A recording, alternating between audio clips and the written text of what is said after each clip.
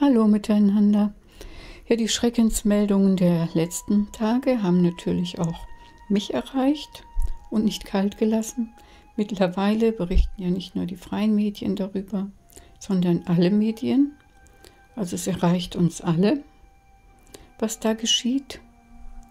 Angst und Schrecken und Panik sollen da verbreitet werden, ist meine Vermutung. Deswegen habe ich mich entschieden, in mich zu gehen, mich abzulenken, auch wenn es manchmal so höhnisch gesagt wird, Brot und Spiele. Manchmal hat es wirklich seinen guten Zweck, zu spielen und auf andere Gedanken zu kommen und sich nicht von diesen Wellen der Angst wegspülen zu lassen. Daher lade ich euch ein, mit zu gucken, wie ich spiele. Im nächsten Video wird es dann natürlich wieder etwas ernster zugehen, aber heute muss das einfach mal sein. Ich wollte schon lange mal einen Gnomenjäger erstellen, beziehungsweise eine Gnomenjägerin. Die Gnomen sind das kleinste Volk im Spiel World of Warcraft. Zunächst wird sie gestaltet, Hautfarbe, Gesicht. Ja, sieht man die einzelnen Möglichkeiten. Auch die Frisuren sind ganz unterschiedlich. Später kann man auch zu einem Friseur gehen und die Frisur ändern. Aber es gibt auch hier schon eine Menge Auswahl. Ja, was könnte so eine Jägerin wohl für eine Frisur tragen? So was Aufwendiges, vielleicht nicht gut, wenn man im Wald ist, hat man keinen Kamm dabei. Also so eine Strubbelfrisur, die dürfte ausreichen. Die Farbe, ja, das passt auch dazu. Ohrringe sehr schmückend. Zum Schluss muss dann noch ein Name ausgewählt werden. Mariella natürlich, was sonst. Und schon geht's los. Das Einloggen dauert manchmal etwas, deswegen habe ich das vorgezogen. Jetzt kommt das Intro. Eisenschmiede waren die Gnome in der Stadt schlagartig nicht mehr willkommen. Sie haben deshalb begonnen, ihre Rolle in Kasmodan zu überdenken und ihre geniale Technologie und unstillbaren Durst nach Abenteuer voll auszuschöpfen. Nun planen sie unter der einfallsreichen Führung von Hochtüftler Mekadrill einen mutigen Feldzug gegen die grausamen Trox, um ihre frühere Hauptstadt Gnomeregan zurückzuerobern. Da ihre Chancen schlecht stehen, zählen die Gnome darauf, dass mutige Helden wie ihr vortreten und Farbe bekennen werden. Die Schicksalsstunde eures Volkes hat geschlagen. Dies ist nun das Anfängergebiet der Gnome. Wie man sieht, sind die Chars, also Charaktere, hier vergiftet. Man sieht das an diesem grünlichen Schimmer. Wahrscheinlich sind hier mal Chemtrails runtergegangen oder ähnliches, Geoengineering. Hier müsste vielleicht Greta Thunberg mal nachsehen und etwas tun für dieses schlechte Klima, vielleicht auch ein CO2-Problem, man weiß es nicht. Nachher sieht man noch mehr verstrahlte und vergiftete Gnome, wirklich schrecklich, ja.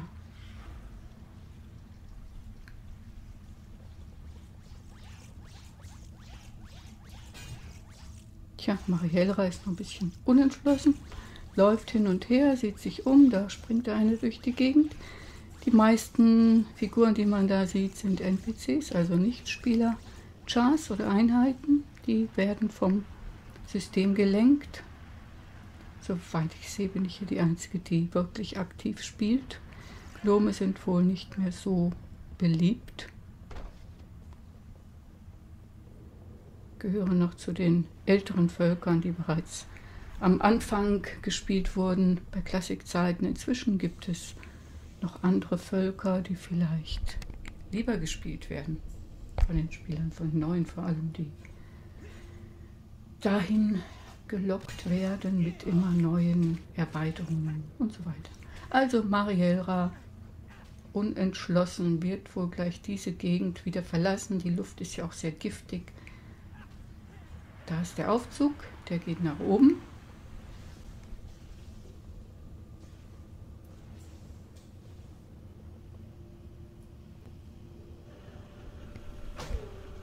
Dann sehen wir mal, was uns dort erwartet. In luftigen Höhen.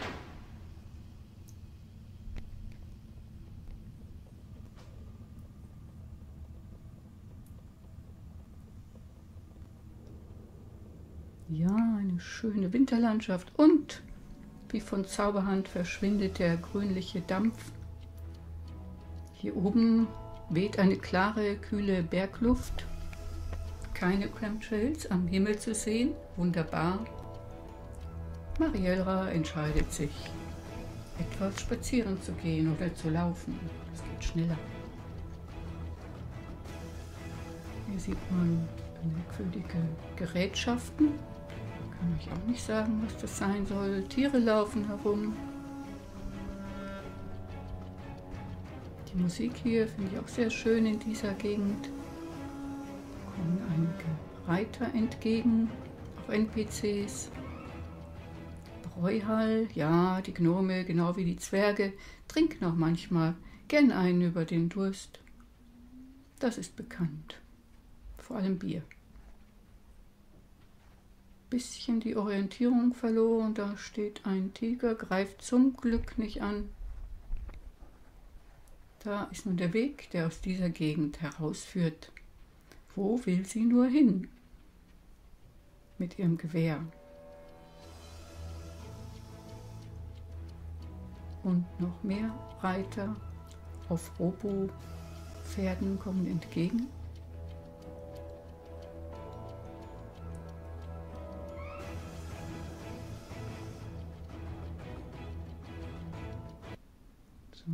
kleiner Schnitt. Da hing das Spiel ein bisschen. Dort vorne sieht man dann den Ausgang aus dieser Gegend.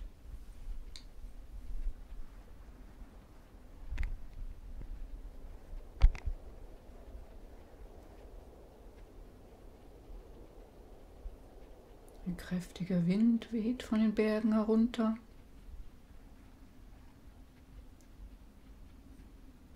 Ja, dieser Hase da an ihrer Seite ist das Tier, das ihr hilft im Kampf übrigens. Für alle, die WoW nicht kennen, Jäger haben immer so ein Tier bei sich. Hier spielt wieder eine andere Musik. Wir sind in einer anderen Gegend. In Dunmorok.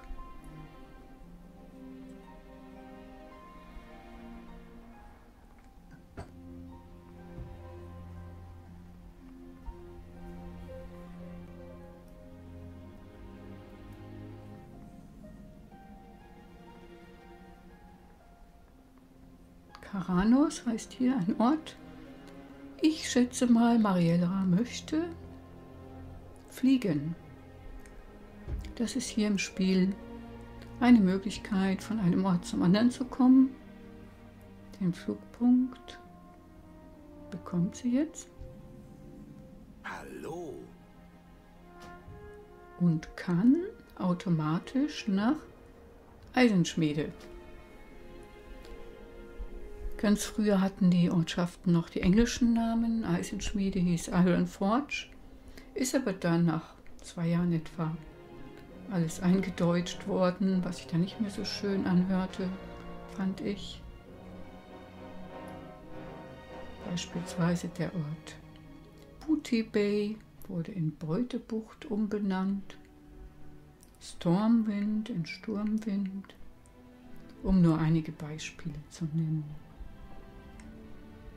Ja, dieser Ort wird von den Zwergen bewohnt, die, wie man da sieht, sich mit äh, ja, Stahl, Eisen und dergleichen beschäftigen.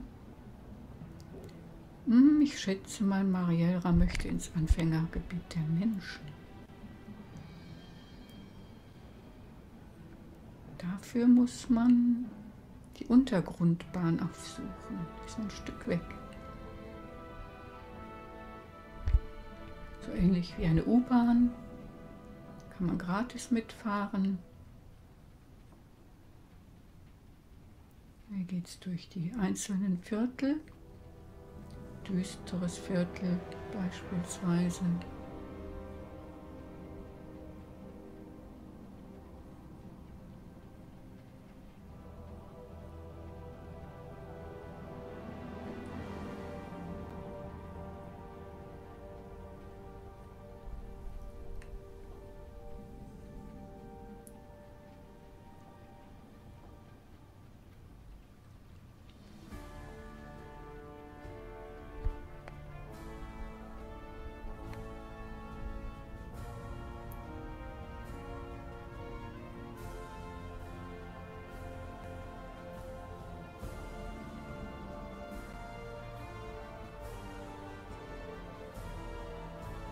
Hier links wäre jetzt tatsächlich ein Friseur, aber sie hat noch kein Geld dafür, noch nichts verdient.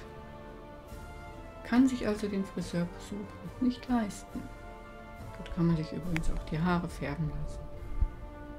Oh, ein ganz großes Tier, Reittier. Schauen wir uns mal näher an.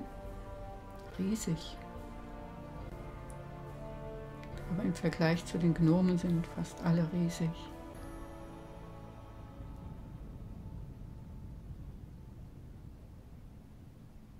Hier ist der Platz, wo die Bank ist und Auktionshaus. Da tummeln sich die meisten.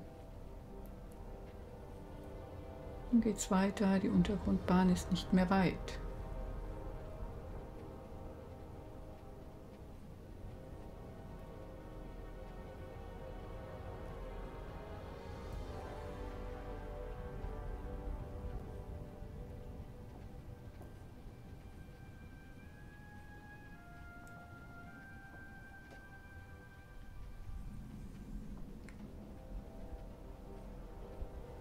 Militärviertel.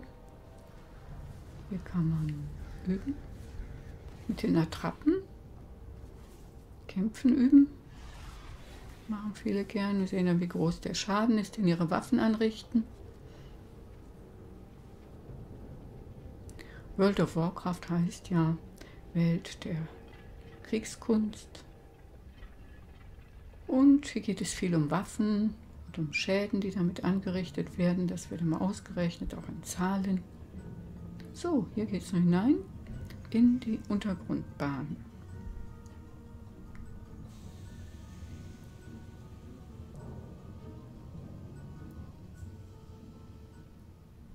Oder Tiefenbahn.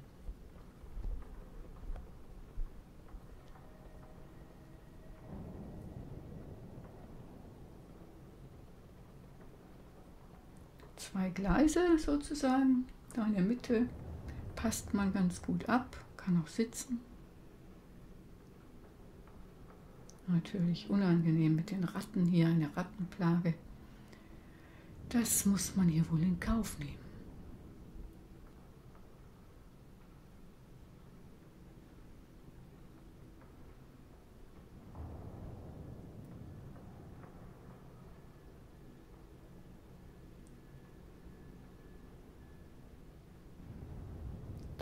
Kommt schon ein Bein.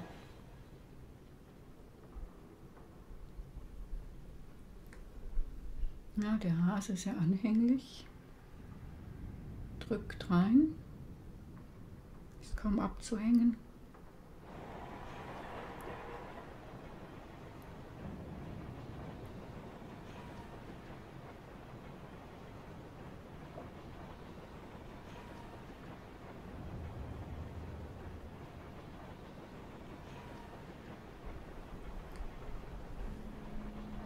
Man könnte den Weg von Eisenschmiede nach Sturmwind auch zu Fuß gehen, ist aber sehr weit, führt durch gefährliches Gebiet.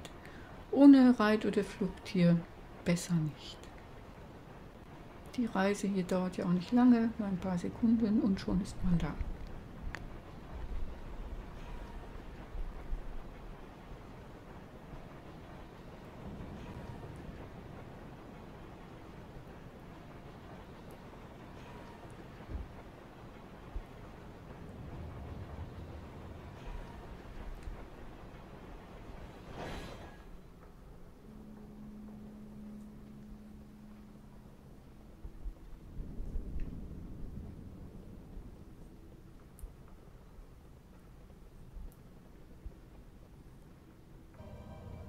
So, nun sind wir in Sturmwind.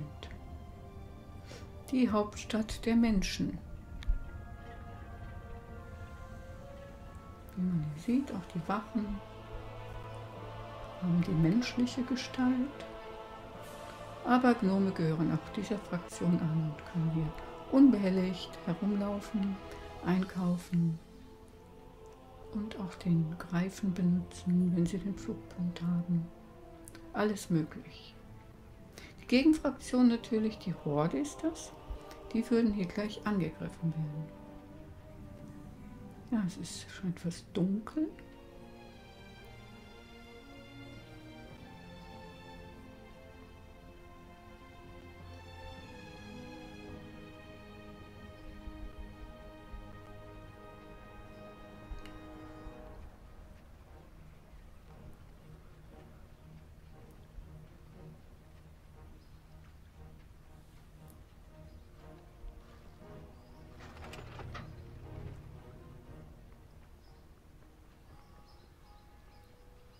Sind überall Kanäle, wo man über Brücken gehen muss. Der nächste Ort, äh, den wir da erreichen müssten, wäre Goldhain, aber den Flugpunkt hat Mariera noch nicht, weil sie kein Mensch ist, sondern ein Gnom. Muss sich die Flugpunkte also hier erst erarbeiten. Beziehungsweise erlaufen.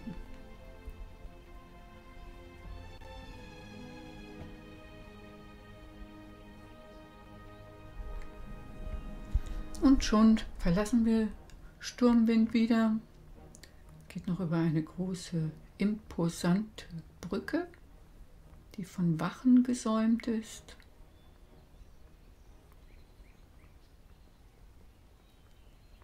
Und dann einen befestigten Weg weiter bis nach Goldheim. In den Wald von Elvin.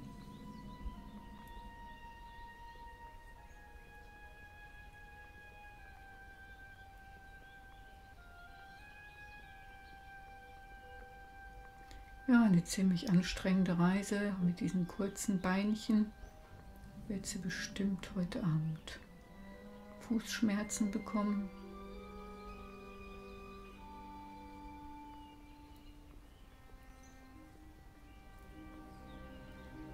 Sieht auch ein bisschen unbequem aus, wie sie da läuft.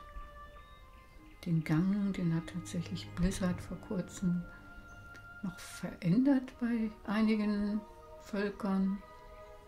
Und das sieht jetzt etwas merkwürdig aus. Ja, mal schauen, ob wir noch vor dem Dunkelwerden das Ziel erreichen.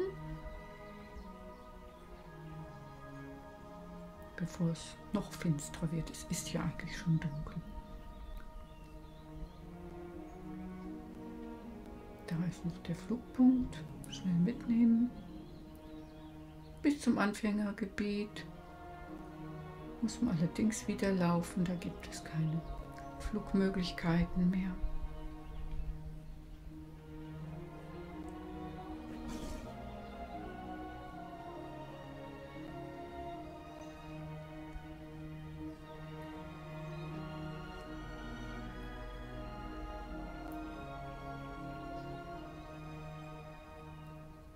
Ich habe die Channel jetzt gewechselt, es war eben der Kampflog drin.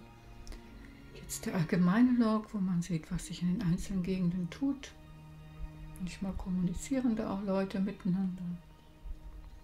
Das kann man hier links in der Ecke nachlesen.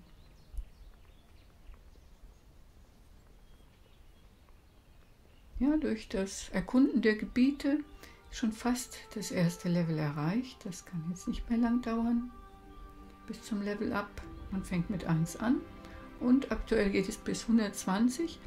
Hier spiele ich aber auf einem Probe-Account, der geht nur bis Level 20. Dafür kostet es nichts. Hier kann man beliebig lange spielen. Aber eben nur mit diesem begrenzten Spielebereich. Und Spielemöglichkeiten. Manches geht gar nicht. Zum Beispiel Einkäufe im Auktionshaus, Benutzung des Briefkastens. Haustierkämpfe ist alles nicht möglich mit Starter Edition.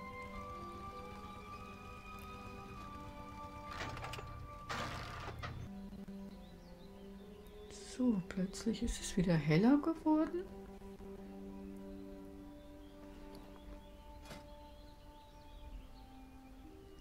Ja, ich habe mir einige Erbstücke erarbeitet die ich mir jetzt raussuchen kann und anziehen kann. Und da drängt sich jemand vor mich, beziehungsweise Mariella. So, jetzt verändert sich das Aussehen durch diese Ausrüstungsgegenstände. Statt Gewehr gibt es jetzt einen Bogen. Das Licht sei mit euch. Das Licht segne euch. Oh, die erste Quest ist angenommen, also eine Aufgabe. Hier muss man nun diese Wölfe töten. Und kann den Inhalt entnehmen. Ach ja, sogar Schmuck war drin. Ein Stein, Schmuckstein. Und Level Up ist geschafft. Stufe 2. Das graue Zeug kann man hinterher verkaufen. Und ein Beutel droppt auch noch. Viel Glück gehabt.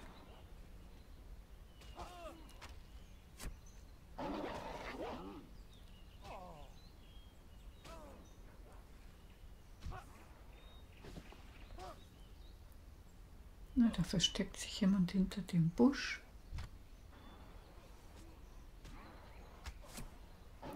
Und der kleine Hase hilft fleißig mit. Dafür ist er ja auch da.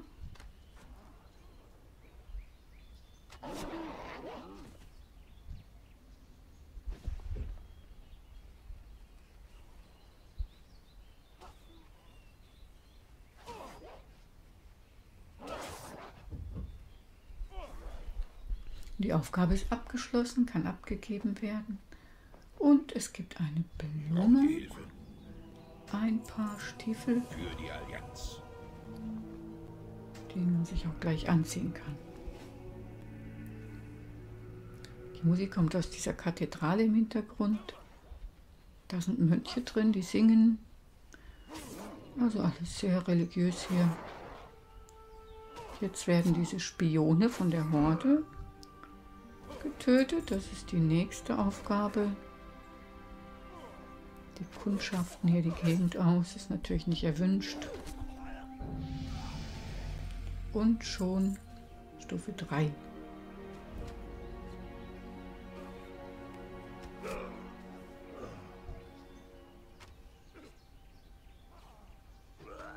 Jäger lässt sich ziemlich leicht spielen.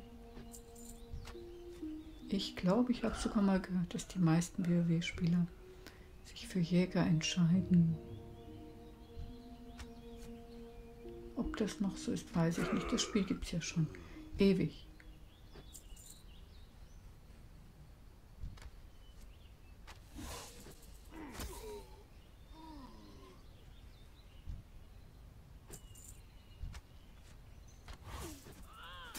Auch die Aufgabe ist jetzt beendet. Jetzt schauen wir mal ein bisschen weiter rauf in dem Gebiet, was da noch zu sehen ist. Das ist die Echokamine. Früher konnte man da auch rein, aber die ist jetzt verschlossen. Manchmal steht aber ein NPC davor, der auch noch eine Tasche droppt, aber da muss man Glück haben. Ja, kleiner Schnappschuss mit diesem Hintergrund. Und weiter geht's, diese Quest abgeben.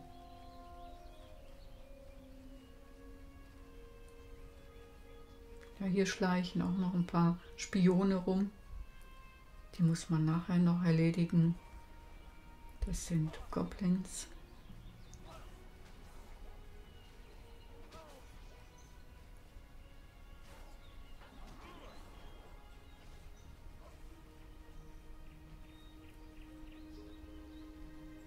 Grüße. Seid vorsichtig. Ja, Mariera entscheidet sich für heute erstmal Schluss zu machen. Lockt aus. Sicher tun ihr schon die kleinen Füße weh, kein Wunder. Nach diesem langen Marsch.